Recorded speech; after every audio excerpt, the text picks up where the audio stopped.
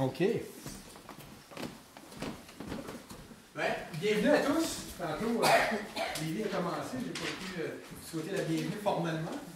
Euh, je ne sais pas si vous vous rendez compte, mais on est privilégié d'avoir euh, le, le- cette, cette euh, quatuor opus. C'est le meilleur, je peux dire, hein, le meilleur, le meilleur quatuor de- de- d'université à l'heure actuelle. Ils ont eu un A+. dans leur cours de- C'est exceptionnel, c'est très rare. En fait, eux-mêmes étaient surpris. Euh, il était tellement bon qu'on leur a demandé de jouer à la quatrième scène du CNA. Donc, ils ont joué euh, au CNA aussi. Euh, Il y avait vous puis un autre quatuor qui sont, De maîtrise. sont, sont de maîtrise, sont moins beaux, qui sont moins bons. Bien sûr. Donc, euh, on n'est pas sur le programme, vous avez les noms, mais vous ne savez pas qui est qui. Geneviève, qui euh, vient d'Edmonton. À l'alto. Donc, ceux qui ne connaissent pas le- les différents instruments à cordes, c'est un alto, c'est plus gros qu'un violon. C'est plus, ça sonne plus bas. Il y a le violoncelle avec Lévi. Lévi, euh, c'est un fils de, de violoncelliste euh, qui vient de Salt Lake City. Jonathan, ici, qui joue depuis trois ans, qui a l'âge de l'âge de trois ans, qui vient de Elmer, dont les parents sont qui elle aussi euh, joue depuis l'âge de 4 ans, qui euh, connaît Jonathan depuis, depuis très longtemps. Ils se sont vus dans des ateliers de musique euh, au cours des années. Donc, euh, une, chose, une, chose, une chose à dire, c'est qu'ils sont tous à l'université. Jonathan vient de finir son bac jeudi dernier.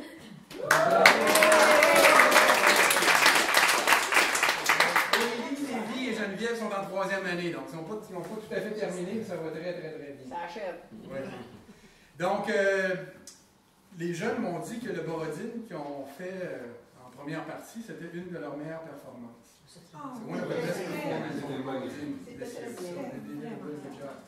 Et je vous rappelle que vos dons sont appréciés. Tous les euh, dons seront remis aux jeunes. La boîte est là-bas, la boîte rouge est là. Donc, si Ah, ça vous ok. tente, euh, bienvenue.